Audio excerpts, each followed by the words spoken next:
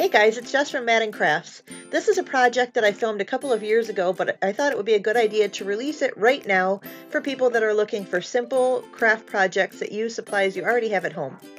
If you have digital photos and a colored printer, some glue, and uh, clear sealant, even like clear nail polish, you can turn your digital photos into beads for jewelry or garlands or whatever you'd like to use them for.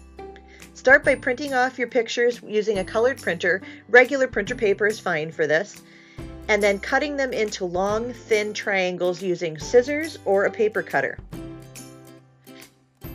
Once you have the triangles cut out, you're going to want to roll them up using something small and thin like a toothpick or a skewer or something along those lines because you want it to have a really small interior circle so that your beads aren't too wobbly. Begin on the widest end of your triangle. Tightly roll up the roll of or the triangle of paper into a roll. You can see that I added just a little bit of glue from a glue stick that will help the beads stay together as you're rolling it up and help it adhere it all together before you get the sealant on it. The real trick here is just to make sure that you're rolling that bead as tightly as possible so it becomes like a solid bead and not like a loose coil. Once you have the bead all rolled up, you're going to want to take a clear sealer. You can use Mod Podge, you can use a spray acrylic sealer, or if you have some clear nail polish at home, that works perfectly well. So go ahead and coat the entire bead while it's still on the toothpick or skewer. And then once you have it completely coated with your sealant, you can slide it off of the toothpick and set it aside to dry.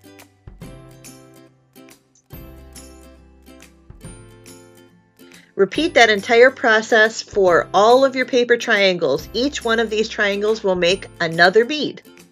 This is a really fun project to do while you're listening to a podcast or watching a streaming movie or maybe a TV series that you've been meaning to watch.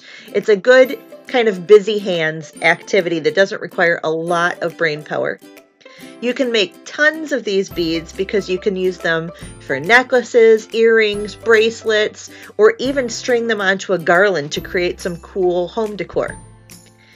The reason why I really like these beads, besides the fact that they're easy and inexpensive to make, is that you've used your own photos that are important to you and sentimental to make something that you can keep around you all the time. So often we take photos with our phones or digital cameras and they just sit on the phone and we never print them out, we never really look at them. This is a cool way to make use of all of those thousands of photos that you've got stored on your phone. I hope you guys are staying well and healthy. If you have any ideas for any videos or posts you would like me to share in the upcoming weeks, please let me know in the comments below and I'll get to work on those for you. Give this video a like if you learned something new. Subscribe to my channel if you aren't already and hit the notification bell so you don't miss when I post a new video. Visit me on my blog madincrafts.com and thanks so much for watching. Bye!